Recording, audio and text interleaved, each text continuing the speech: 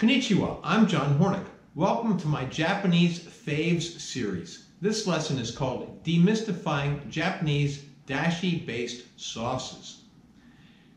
You can also take my 104 lesson cooking course.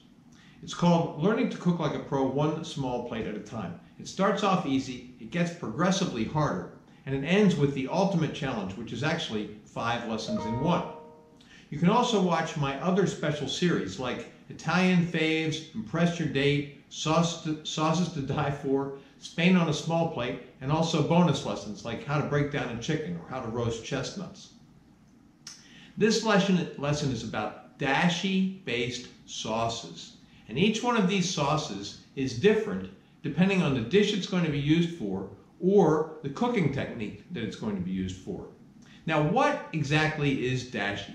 Dashi is a very, very simple, quick stock or a base that's used in soups and stews. This is Japanese cooking. Soups and stews. It's also used in marinades. It's used in sauces and also in other dishes. And it's really the foundation for a very large part of Japanese cuisine. It's used in a lot of different Japanese dishes. And it also uh, has umami. It adds umami to uh, any dish it's used in. What's umami? Umami is the so-called fifth flavor. We have sweet, salty, bitter, and sour. Okay, those are the four well-known flavors in the West. In Japan, there's also known, uh, there's also this fifth flavor called umami, and there's no direct translation for it. Some people say it means tasty or it means savory. Now, first we're going to talk about common dashi, and Common dashi is only made of a couple of components. And those components are uh, kombu. Sometimes you'll see it spelled K-O-M-B-U. Sometimes you'll see it spelled K-O-N-B-U. And uh, this is a kelp, okay? And it's like a dark green, and sometimes it's all curled up like this. Uh, other times it's more of a it's more of a, a flat piece, and it has this uh, white powder on it. Okay, when you go to use this, you can brush brush it off, but do not wash off the white powder. The white powder is very important for providing flavor. Now, um, uh, that is kombu, okay? Dried kelp. And if you make dashi with just the kombu, okay, it's called shojin dashi, which means vegetarian dashi, because this is a vegetable, has no animal products in it, okay?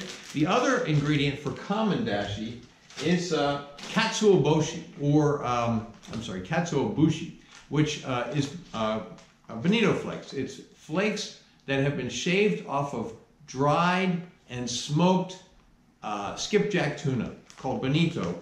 And uh, when uh, you make these flakes in Japanese, it's called katsuobushi. Okay, and uh, it's it's easy to buy these uh, in most places in the United States in this uh, flake form. They come in little bags. Uh, but in Japan, uh, you can also find it in block form.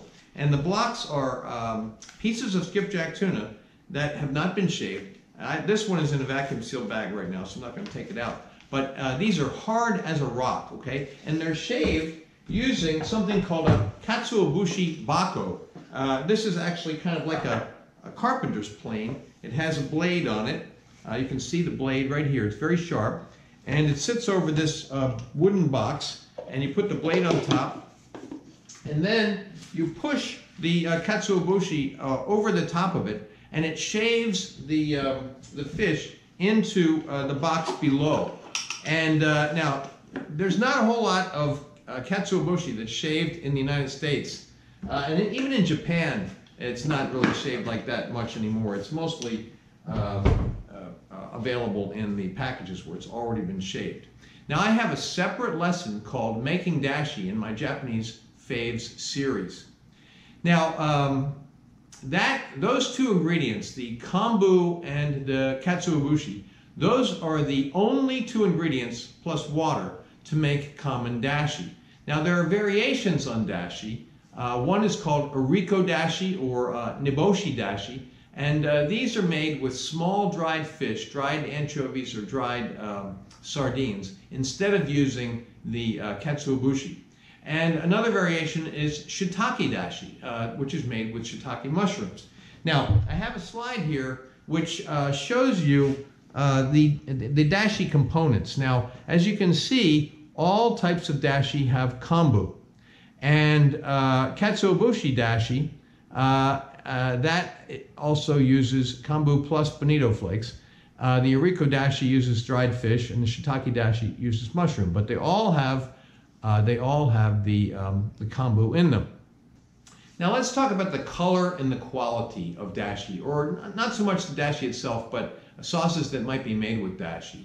And uh, most sauces that are made with dashi use dark soy sauce, uh, which is called uh, koikuchi soy sauce. Just means dark soy sauce. The Japanese word for soy sauce is shoyu, so I usually refer to shoyu. And I don't usually buy the common brands of shoyu that are out there. I tend to look for smaller producers. You always want to try to use good quality ingredients when you're making a sauce with dashi. And if you use the uh, the dark soy sauce, it will add the the uh, it will add color to the sauce. Okay. Now you can also make something called shiro dashi, which is dashi to which you've added um, white soy sauce. It's not really white. It's just light colored soy sauce, also known as usu, usukuchi, usukuchi soy sauce. Forgive, forgive my Japanese. Um, so this light colored soy sauce, uh, don't mistake this for light soy sauce. Light soy sauce that you see in the, uh, in the uh, bottles that have the green tops in the sushi restaurant, those are lighter in uh, sodium, okay? That's light soy sauce. Light colored soy sauce is actually heavier in sodium, but it's lighter in color, and it doesn't add color or it doesn't add as much color to whatever sauce you might use it in. Now let's talk about the quality of uh, dashi. Now uh, dashi, uh, basically there's two qualities of dashi. One is ichiban and the second is niban. And they simply mean first dashi and second dashi. Ichiban is first dashi and niban is second dashi. And um, first dashi is considered to be more delicate. Uh, it's used in clear soups. And uh, Niban dashi, or second dashi, is considered to be stronger and it's used in other dishes. Uh, and now, how do you make them? Well, I have a separate lesson on how to make dashi, but basically what you do is you soak the kombu overnight. You don't have to, but uh, uh, a lot of uh, cooks will soak the kombu overnight, and then they will bring it to a boil, just bring it to a boil. The moment that a bubble starts to bubble, take that kombu out of there and add the bonito flakes and let them sink to the bottom of the pot. And after they've sunk to the bottom of the pot, which only takes seconds usually, 30 seconds to a minute, you strain it and uh, it's done. First dashi is done, okay? And now um, you keep those ingredients, the kombu and the uh, bonito flakes that you used to make the first dashi, and you do it again. You make it uh, another batch, right? And that is second dashi. All right, let's talk about dashi building blocks. Now, a basic building block for dashi-based sauces is called kaeshi. We'll talk about what that is a little bit later on, but basically, to make uh, dashi-based sauces, one way you can do it is to start with kaeshi, then add other ingredients to build your sauce. Then there is also another building block called mentsuyu.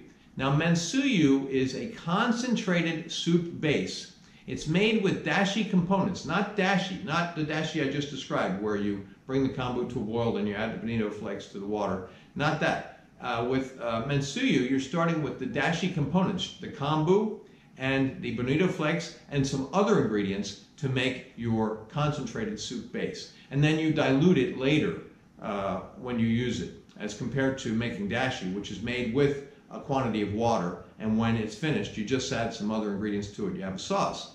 With mentsuyu, you make a concentrated base and then you dilute it later on. Now, let's talk about the ingredients of these building blocks. Now, for kaeshi, uh, the ingredients are uh, usually shoyu, Japanese-based soy sauce. It can either be the dark soy sauce or the light-colored soy sauce. That's the koichi soy sauce or the usukuchi soy sauce. Also, another ingredient is mirin, which is a sweetened basically it's um, a derivative of sake and it's a sweet cooking um, fermented beverage basically. Some people call it wine, it's not really wine. Another ingredient of kaeshi is sugar. Some people use tamari instead of or in addition to shoyu. And uh, the difference between uh, tamari and shoyu is that tamari doesn't have any wheat in it, okay, so it's actually gluten free. And then some people will use sake to make keishi. Now, let's talk about the ingredients of mentsuyu. Uh, now, you do not use any dashi to make mentsuyu, as I mentioned before. But you'd use all of the ingredients I mentioned before. You'd use shoyu, mirin, sugar, tamari, sake, and then you'd also use kombu and bonito flakes. And all of these ingredients together would be used to make um, the mentsuyu. But remember, you don't use dashi that's already made. You just use the components of dashi. Then dashi-based sauces uh, in, in, in the case of dashi-based sauces, you make the dashi first, okay? And preferably you're going to use ichiban, that's the first dashi, but it's not, it's, it's a lot more important to Japanese cooks than it is to American cooks. You could use the first dashi. I often use first dashi or second dashi to make these dashi-based sauces. So you make the dashi first, and then you add to that shoyu. Again, it can either be the light-colored shoyu or the dark shoyu and you add mirin and sake and sugar, and you may add tamari. Now, the basic rules of making any of these sauces, as I mentioned before, is always use high quality ingredients. Don't use cheap shoyu, okay? Use good shoyu, all right? And when I give you uh, measurements later on in this lesson, when I talk about ounces, that's always ounces by weight, okay? Ounces by weight. So you have to use a kitchen scale to measure. And, uh, and and just for convenience, whenever I refer to dashi in this lesson, I'm referring to katsuobushi dashi uh, unless otherwise specified. And what that means is I'm not referring to the vegetarian dashi, and I'm, I'm not using, I'm not referring to variations on dashi, which could be shiitake or made with dried, other dried fish. When I talk about dashi, I'm always talking about dashi made with kombu and katsuobushi. Okay? Now, the differences between these sauces can seem confusing, especially once I start showing the charts a little bit later on with the ingredients. Uh, and they may seem to be the same or almost the same. But when they're used in different proportions, they have different uses. And when you talk about dashi-based sauces versus using mentsuyu to make a sauce, it's really two different ways of making similar things, all right? You can either make the sauce using dashi or you can make the sauce using mentsuyu, which includes the dashi components, right? Different ways of making similar things. Now, the recipes for these sauces are very intentional and they are very personal. Even though they might seem to be very similar, sometimes they might even seem to be the same, uh, they're very personal and very intentional uh, according to the chef, okay? Now, What's important to understand is that Japanese restaurants are not in Japan, are not different, are not the same as Japanese restaurants in the United States. In the United States, you go to a Japanese restaurant, they have all different dishes. They might have soba noodles, udon noodles, they have sushi. In Japan, that's unusual. In Japan, most restaurants have one thing. They specialize in one thing. They might specialize in ramen. They might specialize in uh, udon. They might specialize in soba. They might specialize in somen, all those different types of noodles. Sushi restaurants tend to only have sushi, okay? And then there's a lot of other types of Japanese cuisine, and the restaurants tend to be highly specialized.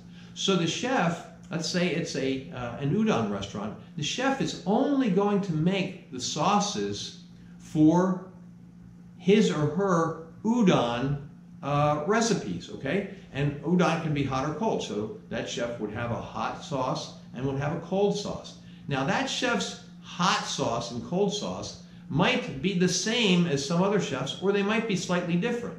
Or it might be that some other chef's soba sauce is the same as this chef's udon sauce. But it doesn't really matter so much because, again, they're highly personal, they're highly intentional, and they're often secret because restaurants don't have all these different dishes. Uh, they, they, uh, you don't have to worry about situations where one sauce is the same as another sauce. Okay, they might, they're going to be very specialized. Now I want to talk about uh, sources a little bit. And um, I am giving you my recipes for all of these sauces, but I'm also giving you the recipes of two other uh, chefs. One is um, Hiroko Shimbo from uh, the cookbook, The Japanese Kitchen. This is a great, great cookbook, okay? And so I'm going to be giving uh, uh, the recipes from this book for a couple of the sauces, and uh, in addition to my recipe. And then I'm also going to be using uh, this cookbook, which is um, uh, from Nancy Singleton Hachizu, or Hachisu, I'm not quite sure how it's pronounced. And this book is just called Japan, the Cookbook. Again, another great cookbook, okay? So I'm going to be giving uh, recipes from my, my recipe and also from those two cookbooks and also from some other sources. Now, um, let's talk a little bit about keishi, okay? Now, I have um, a keishi recipe in another one of my lessons in my Japanese fave series called Demystifying Shoyu-Based Sauces, all right? I also have another lesson in my Japanese fave series called uh, Making Keishi and Tsukijiro. All right, so there's two other lessons where I talk about Keishi. And to make Keishi, basically you mix together these ingredients in a saucepan, you bring them to a boil, and when I say bring to a boil, I mean just to a boil. So the moment it starts to boil, you turn it down to a simmer, let it simmer for five to 10 minutes. Don't reduce the volume, okay? So you want it to be simmering, not boiling, so that it doesn't reduce. You don't want the uh, all of the sauce to be leaving the pan as steam, okay? You want to keep the same volume, just simmer it five to 10 minutes, then cool it, then wait to use it.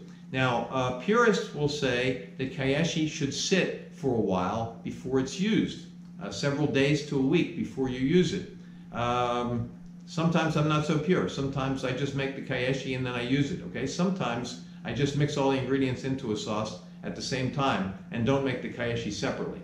But usually uh, I do make keishi in advance and I keep it in the fridge and then I, and I use it uh, when I need it. So that way it's had time to what I call flavorate.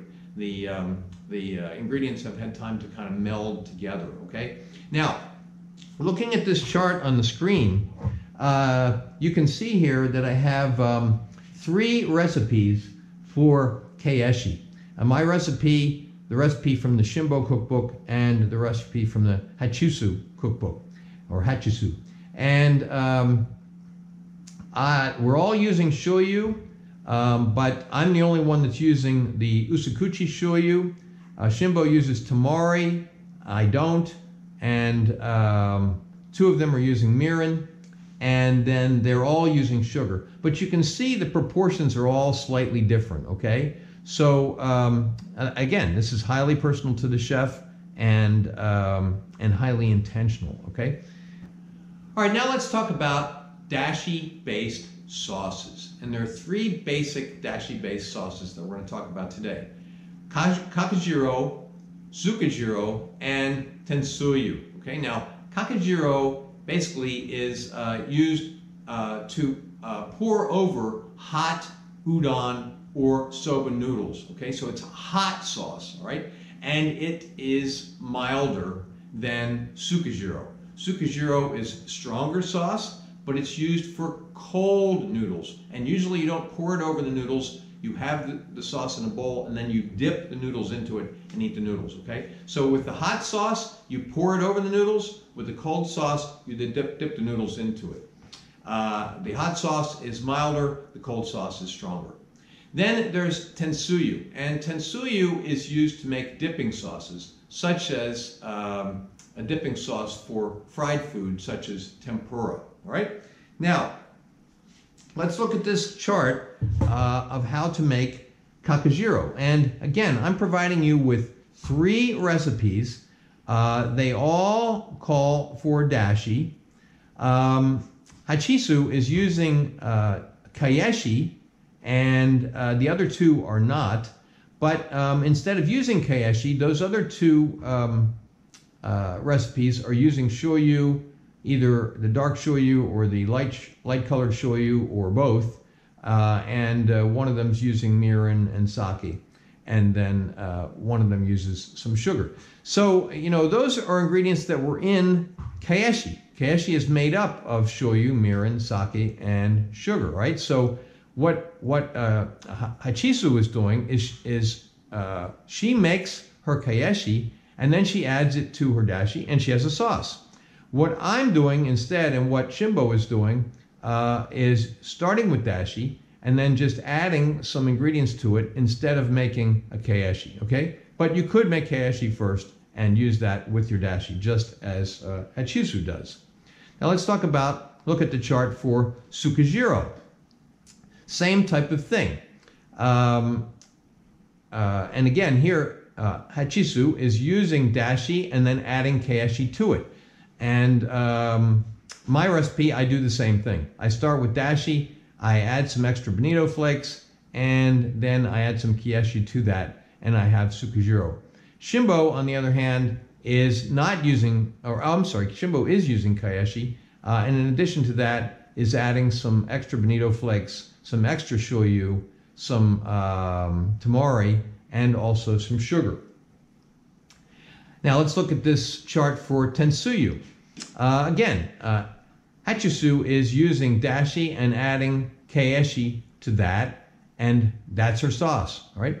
My sauce, uh, I'm starting with dashi. I'm not using keishi. I'm adding shoyu and mirin, and I'm also using some Japanese black sugar or Japanese brown sugar. Uh, you can get this on the internet. I'll try to provide a source for it.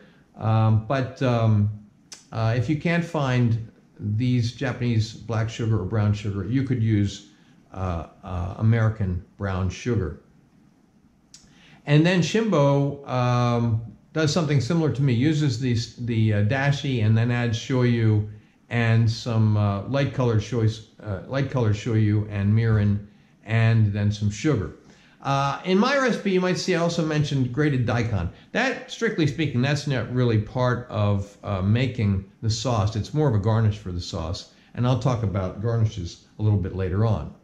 Now let's look at this comparison chart. Now, uh, on this chart, what I've done is I have um, included those three recipes for uh, the kakajiro, the tsukijiro, and the tensuya. So you can kind of see how they're similar and how they're different. And if you study this chart, uh, you will see that um, uh, that um, uh, Hachisu, as I mentioned before, is only using dashi and then adding uh, keishi. And uh, the other recipes are mostly not using keishi and are starting with dashi and then adding the other ingredients. And then you can look at the, uh, the relative proportions. And I mentioned earlier that uh, Kakajiro tends to be lighter and Tsukijiro tends to be uh, stronger. And you can see that when you look at the different proportions of the um, ingredients that are used. Now let's talk about mentsuyu. Remember, this is a, a concentrated base for broths and sauces. It's also known as tsuyu, tsuyu, tsuyu. And um, when you talk about mentsuyu versus dashi, mentsuyu is a concentrate, dashi is not. All right, you you usually use like about a quart of water to one piece of kombu and about an ounce of bonito flakes to make dashi, right? And so that's a quart of water, right? Uh, and mentsuyu is concentrated. But mentsuyu contains the dashi components, but not dashi itself. So mentsuyu contains the kombu and the bonito flakes, uh, but no uh, pre-made dashi. Now let's look at this chart of uh, mentsuyu. And here I'm giving you three recipes. Um, one is mine, one is from uh, an internet source called Just One Cookbook, which has a lot of great Japanese uh, recipes and a lot of information about Japanese food. And um, then another uh, internet source called Masterclass. And uh, here you can see the, uh, uh, that the recipes are all different, but similar. They all use kombu, uh, they all use bonito flakes, and they all use shoyu, mirin, and sake, but in different proportions. Again, highly personal, highly intentional, and often secret to the chef. Now, since uh, mentsuyu is a concentrate, we have to talk about uh, dilution. Okay, how do you dilute it? So if you're making a uh, tsuketsuyu, which is for cold noodles, you have um, a certain amount of mentsuyu in water, half cup of mentsuyu to one and a half cups of water. If you're making uh, kaketsuyu for hot noodles, you use um, more water. because again, it's a lighter sauce. And then if you're making using uh, mentsuyu for say uh, for uh, tentsuyu to make another kind of a sauce, such as for danburi, you use another dilution, and there are other a couple of other uh, um, examples there as well. For nabemono, which is basically a hot pot, or for nimono, which is simmering things in the broth, different dilutions there. Now, I've given you also this comparison chart because you might have noticed that the names are very similar. When you're talking about a dashi-based sauce, the hot broth is called kakajiro. If it's made from mentsuyu, it's called kakatsuyu, all right? And if it's a cold broth, if it's dashi based, it's called sukajiro. And if it's mentsuyu based, it's called suka, sukitsuyu. Finally, I want to mention something about garnishes. Um, my one of my recipes included grated daikon. As I said, that was more of a uh, garnish than actually part of the recipe. And after these sauces are made, they're often garnished with something. Uh, if they're being poured over uh, hot noodles, that's not the case. But if they are being used to dip something in, whether you're dipping cold noodles uh, into sukajiro or you are uh, uh, dipping um, uh, tempura into a sauce, often they are garnished with something. even if you have udon or if you have um, soba noodles, you may, and you're pouring hot broth over them, you may have some other of these things in there as garnishes, and then you pour the broth over the top. And uh, grated daikon is very common to be used uh, in the sauce itself. Nori that has been uh, snipped into small pieces or, or, flakes of nori, which is seaweed. Uh, also scallions that have been cut very thinly, or chives, uh, sesame seeds. Furikake, which is a mixture of uh, things like sesame seeds and nori and some other ingredients um, which you, you, buy it buy that prepared, uh, or wasabi, uh, ginger. Sometimes the ginger that has been pickled, like you get with um, sushi, or uh, fresh ginger that has been sliced or grated, or garlic. Uh, usually, this is garlic that has been uh, sliced. Okay, so when you're making these sauces, feel free to tweak any of these recipes in any way you want but make them your own and make sure they're different. Again, if you're going to be making a hot sauce and a cold sauce and a dipping sauce, you can tweak them any way you want from these recipes, but make sure they're different from each other, okay? So, I hope this video has made sense of the dashi-based sauces. Please remember to subscribe to my channel, and thanks for watching.